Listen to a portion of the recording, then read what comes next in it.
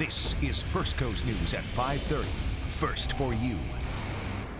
All right, we have taken a picture. Let me show you the picture we've taken here. This is our floor director, Jimmy.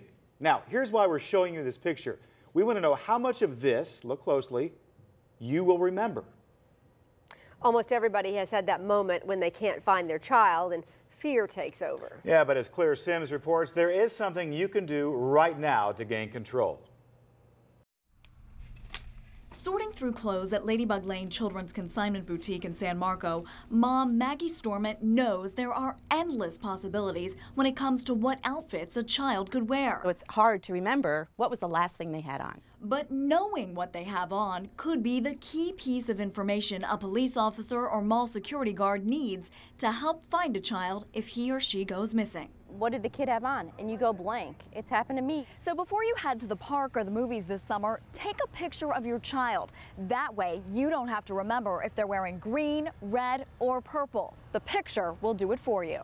And then you know exactly from head to toe how they were wearing their hair, did they have socks on? Was it sandals or shoes? You got the whole thing, and you can give a picture to police if needed right there. Police say details like that can make it easier for someone to spot a child, and parents can share digital images instantly, speeding up a search. With two kids of her own, Mary Lauren Eubank thinks it's an idea she'll share with her stroller strength class in Jacksonville Beach. And that's something that we always talk about safety since we are in a park atmosphere.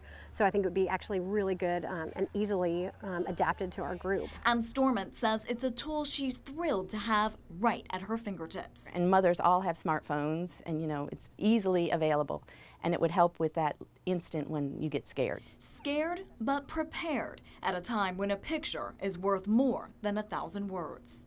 In Jacksonville, Claire Simms, First Coast News. All right, now back to that picture we took and we showed you what, a minute and a half ago. Yeah, do you remember what Jimmy was wearing? Yeah, what color was his shirt? What do you think? All right, you know what color? It was, uh, I guess it's kind of a beige. So, an idea when you're going out to a big public event and you start to worry, there are a lot of people around, maybe take a picture of your kids right there and then. Right. Before you start walking around. Just God forbid, in case something happens, you have a recent photo. You can say, hey, here's exactly what they were wearing. Absolutely. Something easy and, and absolutely could end up, you know, maybe saving your child's life. Definitely. So.